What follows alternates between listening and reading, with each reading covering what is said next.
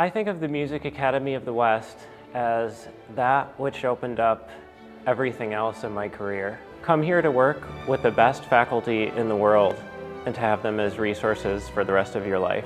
Music Academy is where I really fell in love with orchestra. It's one of the few places where you are really encouraged to excel at solo, chamber music, and orchestra.